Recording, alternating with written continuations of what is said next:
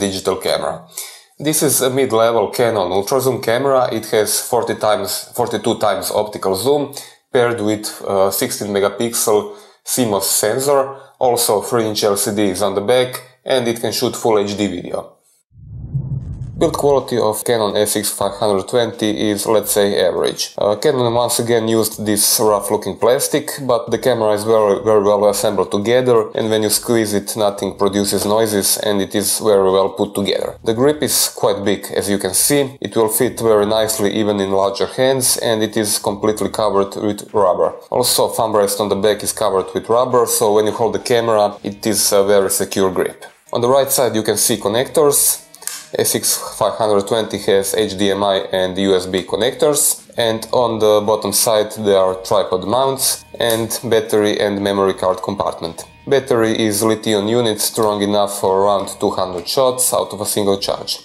On the back you can see a 3-inch LCD, it has 460,000 dots, that is, let's say, average for modern standards, but this is also average for this type of camera this class. Viewing angles are good from the center and from above, but when you view it from the below, it completely uses all visibility, as you can see.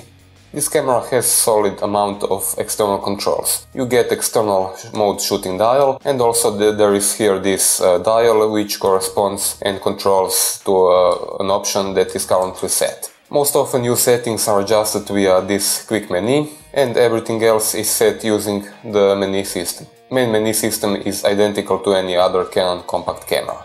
As I said before, this camera has 42 times optical zoom. You can zoom in two speeds. This is the slower one and this is the faster. The lens also has built-in optical image stabilization, which works flawlessly. I was able to get uh, very still shots even at maximum optical zoom. Behind the lens there is a 16 megapixel sensor that uses Canon's high sensitivity technology. It gives uh, usable shots in low light, but still if you really take a lot of shots uh, during the night, I recommend getting a true DSLR with bigger sensor.